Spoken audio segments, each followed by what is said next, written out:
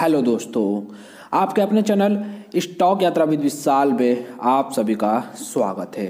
दोस्तों, इस वीडियो में हम डिस्कस करने वाले हैं पेटीएम के ऊपर यहाँ पे हम लोग डिस्कस करने वाले हैं। दोस्तों, इस कंपनी से रिलेटेड यहाँ पे एक बड़ा कन्फ्यूज़न यहाँ पे हम लोगों को मार्केट में देखने को मिल रहा है, जिसको ऊपर ही यहाँ पे हम लोग बातें करने वाले हैं। वैसे आपको यहाँ पे मालूम होगा कि इस कंपनी के रिजल्ट्स यहाँ पे हम लोगों को देखने को मिले थे, जो कि हम लोगों को यहाँ पे ख़राब देखने को मिल रहे थे। लेकिन मार्केट का के रिस्पांस की अगर यहाँ पे हम लोग बातें करें तो आप यहाँ पे देख सकते हैं कि उनके, उनका, इनके रिज़ल्ट पे जो रिस्पांस था, वो हम लोगों को हम कह सकते हैं कि अच्छा मतलब एक्सेप्टेबल रिस्पांस यहाँ पे हम लोगों को देखने को मिल रहा है। ऐसा क्यों मैं कह रहा हूँ कि आप यहाँ पे देख सकते हैं कि इसकी जो क्लोजिंग थी, वो नौ सौ तिरपन रुपये पे थी एंड जिस हिसाब से इनके रिजल्ट्स थे, उस हिसाब से देखा जाए तो जो ओपनिंग थी, वो काफ़ी डाउन में होनी चाहिए थी, लेकिन ऐसा यहाँ पे नहीं हुआ। इसकी जो ओपनिंग है, वो मैं आपको बता दूँ कि नाइन फोर वन ठीक है, नौ सौ इकतालीस पे यहाँ पे देखने को मिला है। लेकिन उसके बाद आप यहाँ पे देख सकते हैं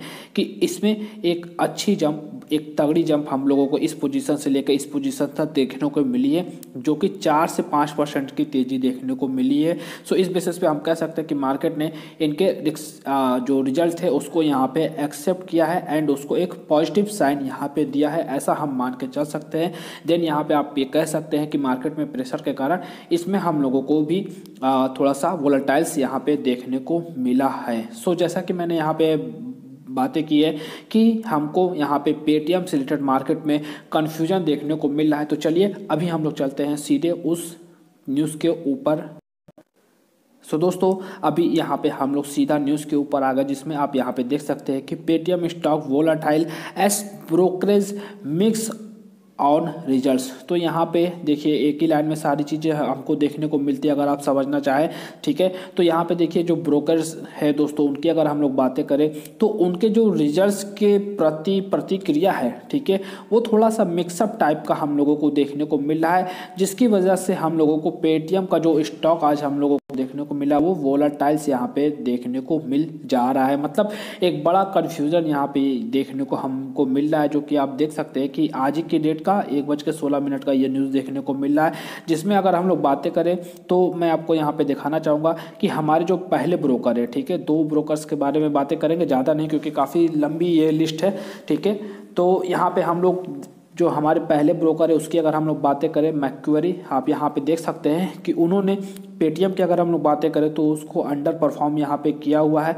ठीक है? देन यहाँ पे आप ये भी देख सकते हैं कि उन्होंने इसका जो टारगेट है, वो 700 सौ यहाँ पे दिया हुआ है, जो कि प्रेजेंट टाइम से अगर देखा जाए तो 22 परसेंट डाउन पर हम लोगों को यहाँ पे देखने को मिल रहा है, ठीक है? सो इनके हिसाब से इनको ऐसा लगता है कि पेटीएम में हम लोगों को यहाँ पे गिरावट देखने को मिल सकती है, जो कि प्रेजेंट टाइम के लेवल से, ठीक है? 700 तक यहाँ पे जा सकती है, ऐसा इनको यहाँ पे लग लग रहा है। इसीलिए इन्होंने इनको अंडर परफॉर्म की रेटिंग यहाँ पे दी हुई है। देन वहीं पे दोस्तों, अगर हम अपने सेकंड ब्रोकर्स की यहाँ पे और चले तो आप यहाँ पे देख सकते हैं कि गोल्डमैन सच की यहाँ पे अगर हम लोग बातें करें, ठीक है तो इनके तरफ़ से हम लोगों को दो अलग अलग वेबसाइट से मैंने न्यूज़ देखी है। तो ये पहला तो यहाँ पे बता दे रहा हूँ, दूसरा आपको मैं ऐसे ही यहाँ पे बता दूँगा, ठीक है?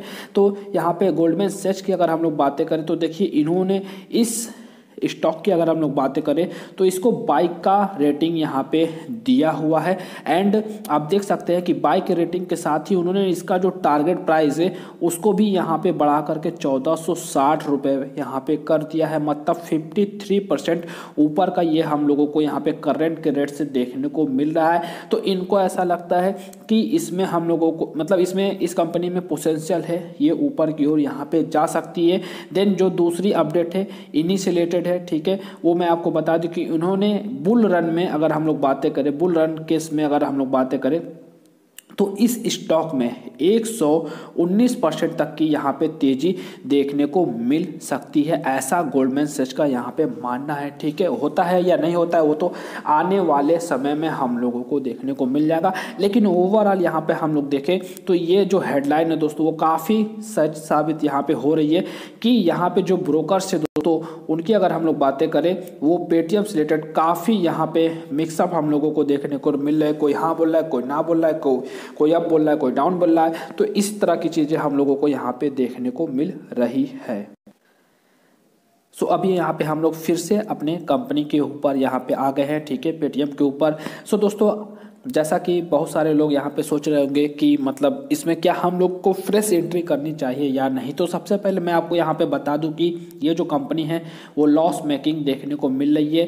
देन इसके जो रिजल्ट्स थे वो हम लोगों को अच्छे देखने को नहीं मिल रहे थे। लेकिन उस रिज़ल्ट में एक चीज़ अच्छी वहाँ पर थी, जो कि मैं आपको बता दूँ कि इनका जो रेवेन्यू था, वो क्वार्टरली ईयरली दोनों ही बेसिस पे यहाँ पर बढ़ रहे थे। इसी वजह से आज मार्केट ने इनको यहाँ पर हरा निशान दिया हुआ है, क्योंकि ऐसा यहाँ पर माना जा रहा है कि यहाँ पे जो रेवेन्यू है वो अगर ऐसे ही बढ़ता रहा तो एक दिन ऐसा भी यहाँ पे हम लोगों को देखने को मिलेगा कि ये कंपनी जो लॉस में हम लोगों को देखने को मिल रही लॉस मेकिंग देखने को मिल रही है, वो उसका जो लॉस है, वो यहाँ पे प्रॉफिट में भी कन्वर्ट हो जाएगा, ठीक है? तो इस बेसिस पे यहाँ पे इस कंपनी में हम लोगों को जो भी लोग यहाँ पे बाय कर रहे हैं, इसके हिसाब से यहाँ पे देख रहे हैं। एंड उनका जो नज़रिया है, वो लॉन्ग टर्म का हम लोगों को देखने को मिल रहा है। एंड ऐसा पॉसिबल भी यहाँ पे लगता है, ठीक है? लेकिन मेरी अपनी खुद की जो बात है, मैं अपने हिसाब से जो चीज़ें देखता हूँ किसी कंपनी में तो उस हिसाब से अगर मैं देखूँ तो इस कंपनी को मैं अभी तो यहाँ पे नहीं खरीदने वाला हूँ। जब इसके परफॉर्मेंस थोड़ा सा हमको अच्छे देखने को मिलेंगे, ठीक है?